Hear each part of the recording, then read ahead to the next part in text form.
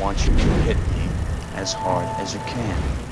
2021 has turned out to be a heck of a year for Marvel Studios. Aside from the big screen success of Black Widow, Shang-Chi and the Legend of the Ten Rings, and Eternals, this year saw the debut of multiple acclaimed Disney Plus series, including WandaVision, Falcon and the Winter Soldier, Loki, and What If. Wrapping up this run, and just in time for Christmas, is the long awaited solo outing for Jeremy Renner's Avengers character in Hawkeye. The six episode series debuts just in time for Thanksgiving, and we were given a first look at the two episodes that open the series. Bringing together plot threads from throughout the four phases of the MCU and introducing multiple new elements, Hawkeye is a blend of light-hearted holiday fare with the most cinematic elements of any Marvel Disney Plus series to date, resulting in an unexpected treat for fans of all ages.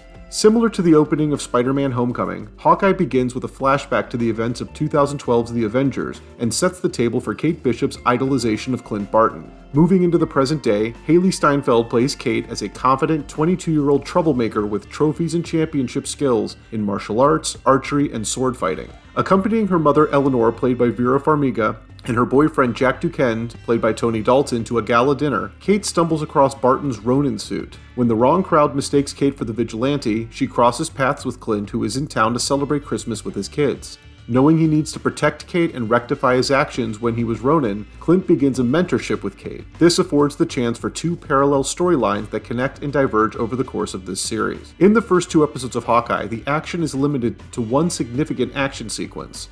The rest is spent showcasing some more of the humorous elements of the show. From a musical number in the Broadway show based on Steve Rogers and the Avengers, to Clint interacting with fans in New York City, to the antics of the tracksuit mafia, these first two episodes feature minimal scenes from the trailers for the series. That means we have a lot in store over the course of this show. What we do see in the opening hours of Hawkeye is a great use of New York City as a setting that we have not seen in the MCU since Joss Whedon's team up movie in 2012. These episodes also work as a showcase for Jeremy Renner's lighter side and Hailee Steinfeld's impeccable comedic timing. Steinfeld is a great successor to the mantle of Hawkeye, something not officially expressed in these episodes made available for this review, but come on, we know it's coming. While many of the new characters introduced in Phase 4 are significantly younger than the original Avengers, Steinfeld carries herself as a very experienced performer. She wisecracks as well as Robert Downey Jr. and makes archery and swordplay more fun than the stoic performance from Renner. Renner has loosened up quite a bit and poked some fun at himself here while still balancing the fallout of Clint's actions in Infinity War and Endgame. Thank you for watching JoBlo videos. If you enjoy our shows, please subscribe to our channel right now, like this video, and click on the bell so you'll be notified each time a new video goes up. Now, back to the show. There's a nice father daughter rapport going on between Renner and Steinfeld that makes these two Hawkeyes very fun to watch. The other nice additions to the MCU introduced in these episodes are Vera Farmiga and Tony Dalton. While Farmiga's role as Kate's mother helps explain the resources their family has at their disposal, Dalton as Jack Duquesne has the more significant history to explore. Based on the Marvel Comics character of the same name, Jack Duquesne, also known by his alter ego, the Swordsman, was a significant early foe for the Avengers.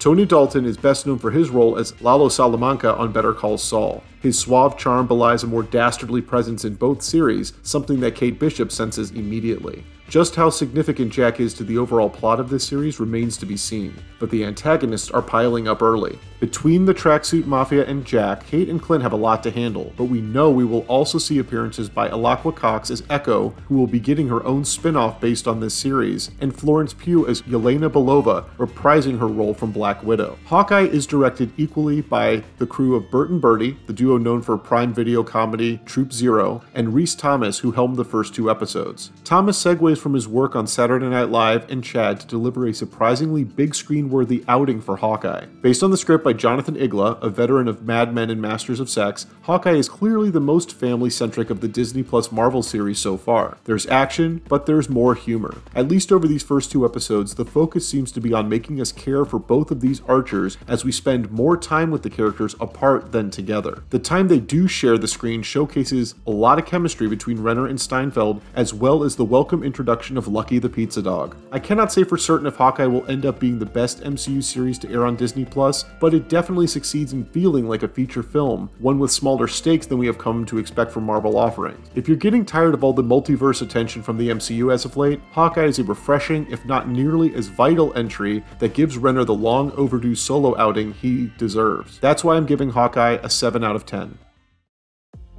Thanks for watching JoBlo videos. If you like this content, make sure to like this video and click on the bell to receive notifications for our latest videos.